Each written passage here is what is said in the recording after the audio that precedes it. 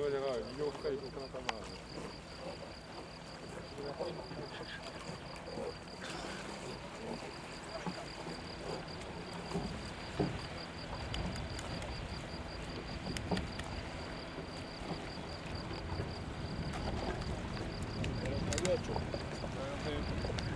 먼저 가.